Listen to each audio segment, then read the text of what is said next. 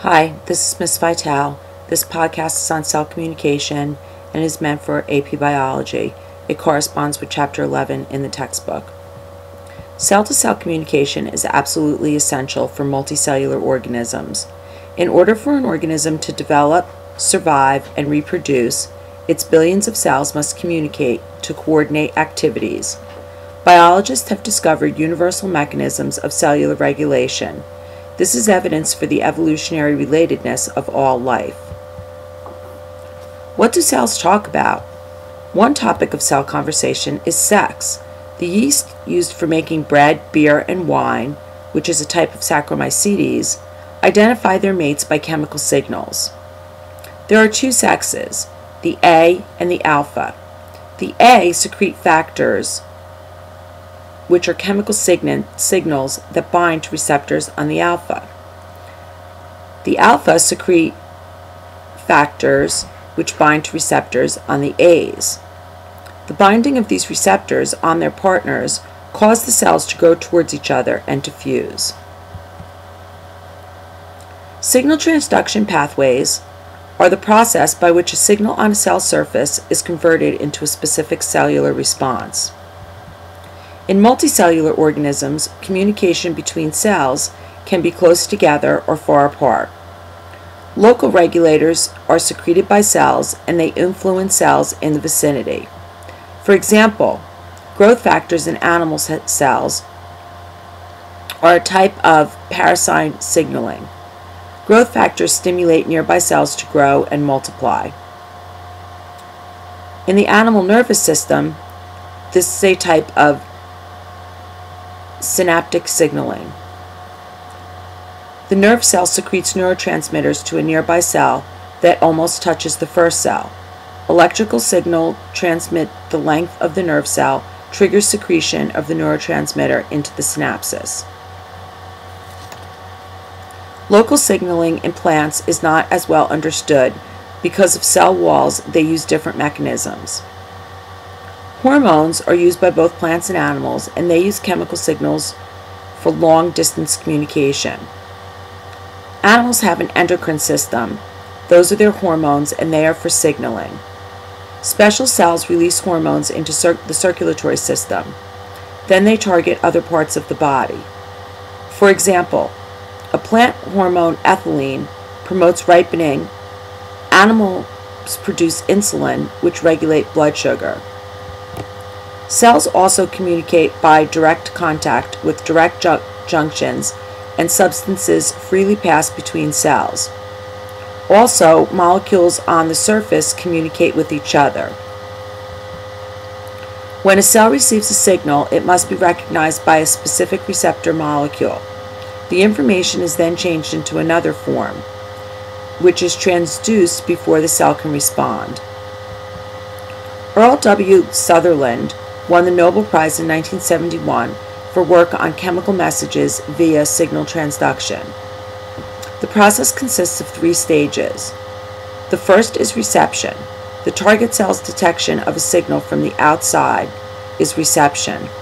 The chemical signal is detected when it binds to a protein on the outside of the cell. Transduction is when the receptor protein on the outside of the cell is changed by the signal molecules. The signal is changed into a form that causes a response by the cell.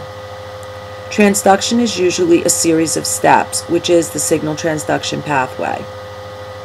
Third is the response. The transduced signal causes a specific cellular response.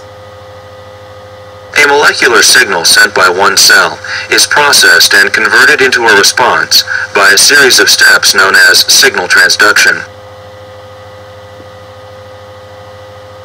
Signaling molecules bind to specific receptors within the membrane. The signaling molecule bound to the receptor causes the release of a second messenger molecule into the cytoplasm.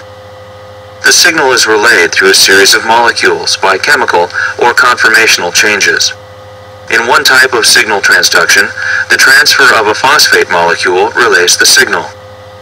A cascade of phosphorylations can amplify the original signal.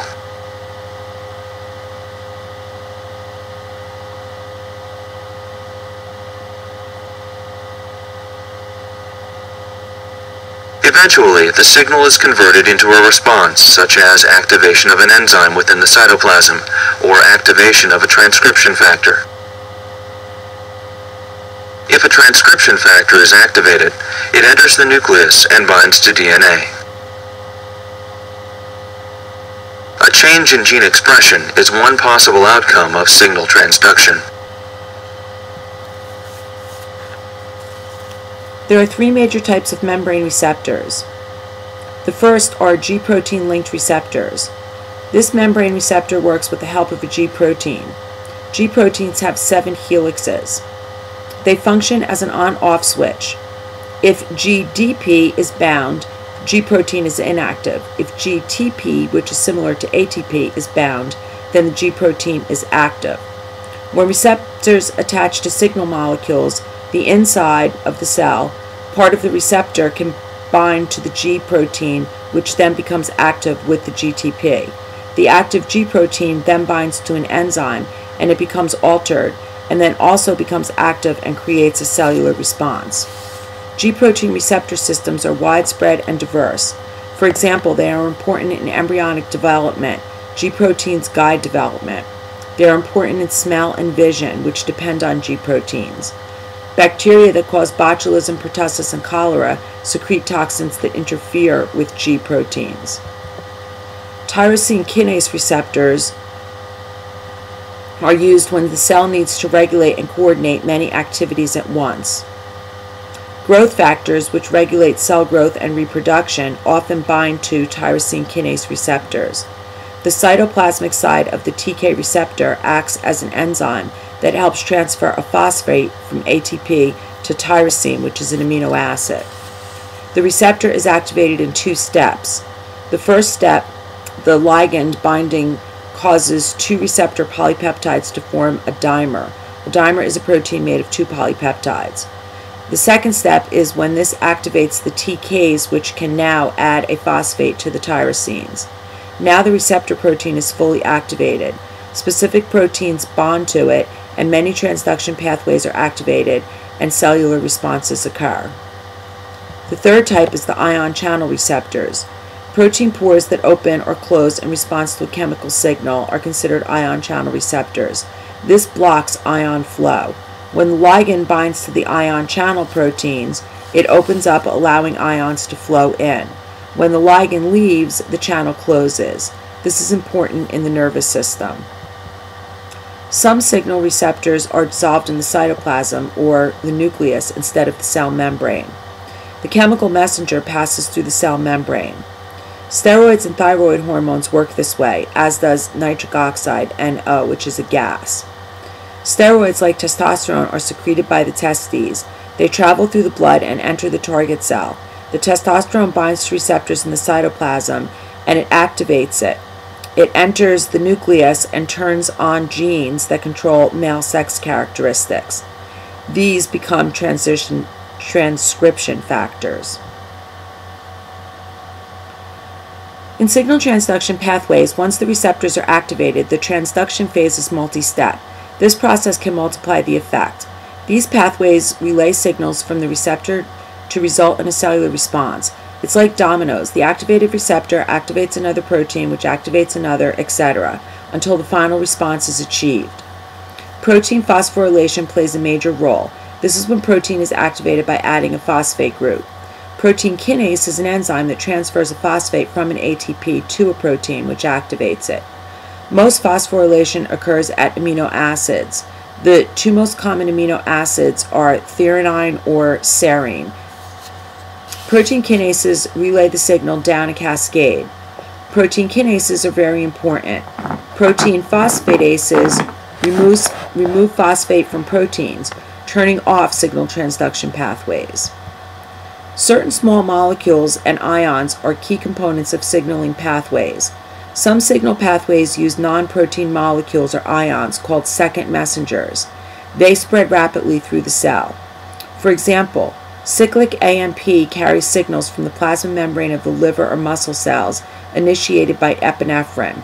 This results in glycogen breakdown in a cell. Two second messengers are used, AMP and calcium ions. Many signal molecules in animals cause an increase in calcium in the cytoplasm. Calcium ions are used as second messengers. An increase in calcium can cause muscle contractions, secretions, cell division. They can also help plants deal with drought or with cold. Calcium ion concentration is usually higher on the outside of the cell than the inside.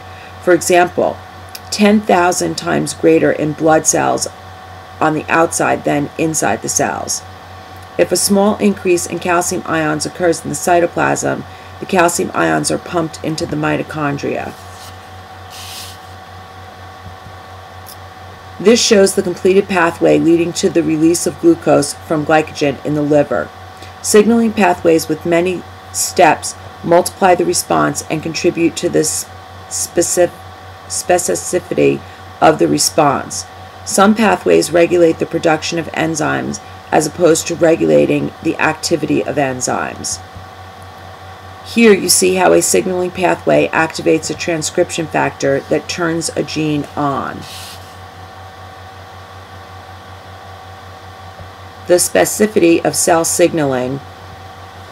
In this diagram, you see that the particular proteins a cell possesses determines what signal molecules it responds to and the nature of the response. The four cells in this diagram respond to the same signal, the orange triangle, in different ways because each has a different set of proteins, the purple and green shapes. Note, however, that the same kinds of molecules can participate in more than one pathway. The efficiency of a signal transduction may be increased by scaffolding proteins. These are large proteins with several relay proteins attached. This enhances the speed and accuracy of signal transfers. WAS is Wiskott-Aldrich syndrome. It is the absence of a signal relay protein in the immune system. It can cause abnormal bleeding, eczema, infections, and leukemia. For cells in multicellular organisms to remain alert and capable of responding to incoming signals, each molecular change in a pathway must only last a short time. If a component becomes locked in one state, dire consequences can result, for example, cholera. When signals leave receptors, receptors become inactive, therefore causing relay molecules to become inactive. The cells then become ready to receive a new signal. Apoptosis is programmed or controlled cell suicide. The cell is chopped and packaged into vesicles that are digested by scavenger cells. Apoptosis prevents enzymes from leaking out of a dying cell and damaging neighboring cells. It is important in shaping an organism during embryonic development. This was first studied in C. elegans, a small soil worm. Apoptosis was triggered by signals that activate a cascade of suicide proteins in cells that will die. CED9 is a protein in the mitochondria that prevents apoptosis. This is overridden by a death signal. This activates proteases, which break up proteins, and nucleases, which break up DNA. The main proteases of apoptosis are called caspases. In humans, apoptosis may play a role in the nervous system diseases like Parkinson's and Alzheimer's. Cancer may also result from the failure of cell suicide.